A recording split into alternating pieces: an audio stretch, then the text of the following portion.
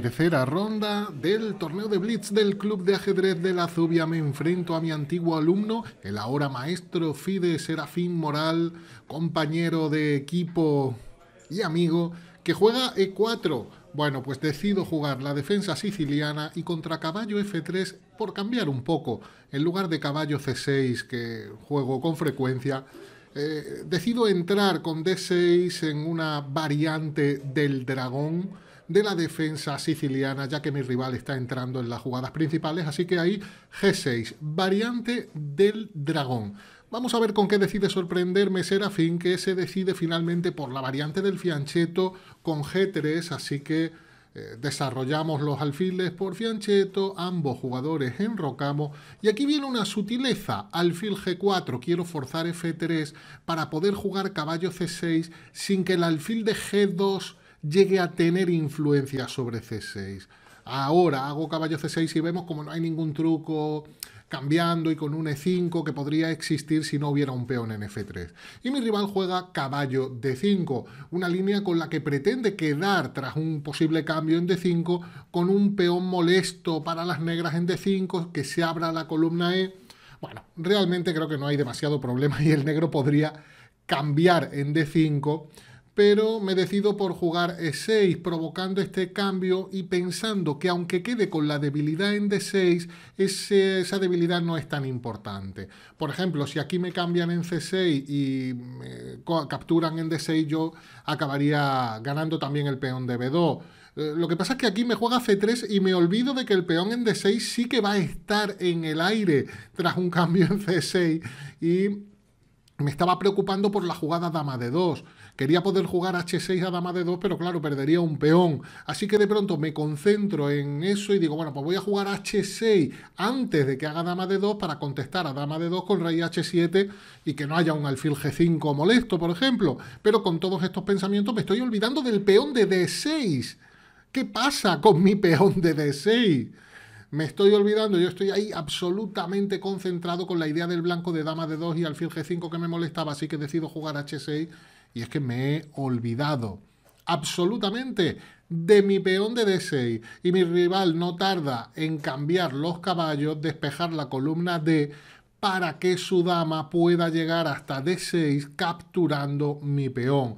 Y bueno, ese peón me lo he dejado sencillamente Ahora busco alguna compensación, claro, por lo menos atacar la dama, ocupar la columna con mi torre, pero tengo un peón de menos, ha sido un despiste bastante grave. Después de dama F4 sí es cierto que empiezo a vislumbrar alguna idea para que su dama quede mal. Claro que para aprovechar que su dama no está muy bien situada, no tiene muchas casillas en el flanco del rey, tengo que retirar mi dama para que no se cambien las damas ahí está, y poder jugar un E5 o un G5 molestando a su dama que no tiene muchas casillas. Mi rival disputa la columna abierta con torre de F a D1 y llega el momento de molestar a la dama adversaria de alguna manera no sabía, no tenía muy claro si jugar E5 o F5, finalmente me decido por G5, la dama en G4 no está muy bien y hay un pequeño detalle táctico y es que puedo jugar F5 en esta posición, ya que si, ahí, ahí lo vemos, si me juega E por F5, después de E por F5, mi dama atacaría su alfil de E3. Ese es un pequeño detalle táctico. Bueno, lo cierto es que no pierde pieza porque habría un jaque de su dama en C4 y la dama luego podría venir no sé, por, por E2 a defender su alfil, pero él se decide por jugar dama H5, él quiere mantener su dama cerca de mi enroque, que ha quedado debilitado con el avance de mis peones, mi peón a G5, mi otro peón a F5. Pero yo sí que empiezo a ver que su dama por lo menos está mal colocada, o un poco aislada en ese sector del tablero. Entiendo que su dama no puede participar en, otro, en otras partes del tablero y quiero aprovecharlo de alguna manera y me decido por hacer alfil A4, atacando su torre, y lo que quiero es provocar B3, que me avance su peón de B3, atacando mi alfil, para yo jugar alfil E8, regresar con mi alfil, atacar su dama, y que pierda el peón de C3. Es decir, lo que quiero es que juegue B3 y debilite su flanco de dama. Eh, pero mm, mi rival, eh, claro, se da cuenta enseguida de que la jugada B3 puede traerle problemas, porque el peón de C3 quedaría indefenso.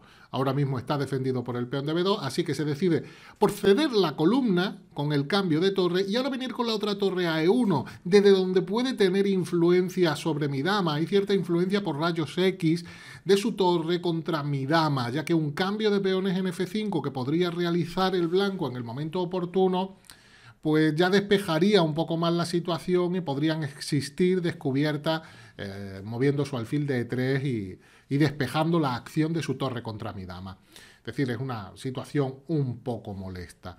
Aquí estoy pensando en realmente si me va a molestar mucho un cambio en F5. Por otro lado, estoy pensando también que el peón de A7 está atacado. Y también estoy pensando que si puedo aprovechar de alguna manera la situación de su dama, ya que en algún momento puedo jugar alfil E8, que finalmente me decido a realizar mm, situando su dama en H3, ahora me atacan F5 y esta era la idea, jugar alfil G6 de manera que un cambio en F5 poder retomar con el alfil y, que no se despejara la columna E para que su torre no pudiera molestar a mi dama. En principio esa era la idea que, que yo tenía en mente, y ahora mi rival, pues sí, pues está pensando qué, pasa si se despeja esa columna, si realmente me puede crear problemas. Y seguro que mi rival también estaba pensando en, bueno, en la situación de su dama, un tanto extraña, un tanto fuera de juego, fuera de la partida en la casilla H3, que al fin y al cabo es lo que yo estoy intentando aprovechar todo el rato tras haberme dejado un peón, porque el peón me lo dejé, pero bueno, aquí estoy intentando aprovechar la situación de su dama. Error. Alfil por F5, error. Mejor era capturar con peón, sin duda alguno. Eh, sin duda alguna. Ahora ese G4 ataca mi alfil, que tampoco tiene muchas casillas, y el blanco aprovecha para situar su dama en G3. Muy bien por Serafín, que, que entiende que, la posición va a funcionar mucho mejor para, para, las blancas con la dama en G3, desde donde no queda fuera de juego y podría incluso tener un H4 en algún momento. Y ahora alfil F1 para activar su alfil por C4. Yo he jugado ahí un B6 porque me molestaba que me capturaran el peón de A7, pero Estoy con peón de menos y sin ninguna compensación. Incluso mi rey en H7, que yo no lo pensaba, podía tener problemas. Me he retirado de, me he retirado de esa diagonal donde ahora las blancas llevan su alfil, precisamente para poder jugar con E5.